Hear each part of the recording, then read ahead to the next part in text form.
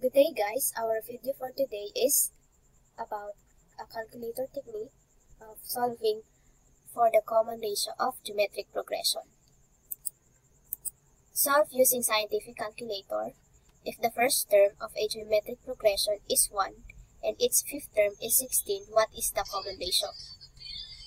First step is mode, then 3 for stat, after that is for geometric progression is number 6.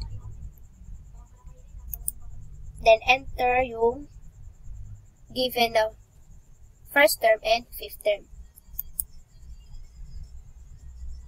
1 and 5. Then the first term is 1. Then ang fifth term is 16.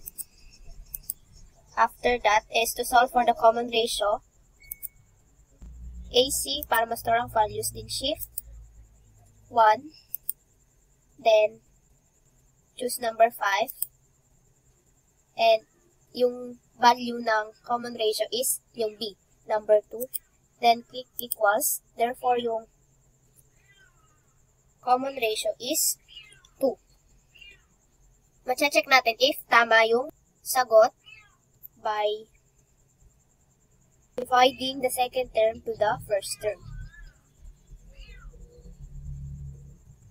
AC 2 which is yung second term 2 5 since hindi natin alam yung value ng second term is ang gagamitin natin is yung number 5 yung y hat.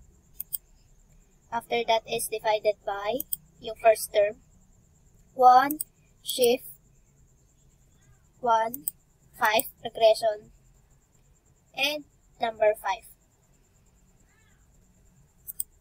If ang sagot is 2, therefore tama yung answer.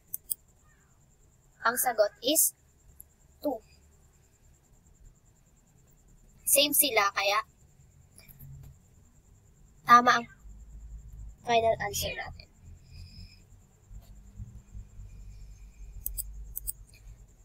Thank you for watching and I hope guys may natutunan kayo for today and see you on our next tutorial.